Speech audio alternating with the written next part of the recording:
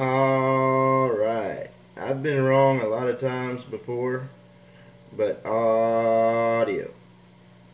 Audio. I'd say swinging from 400 to almost audio 1600. This thing does not need any tubes. What do you think? Breaker, breaker.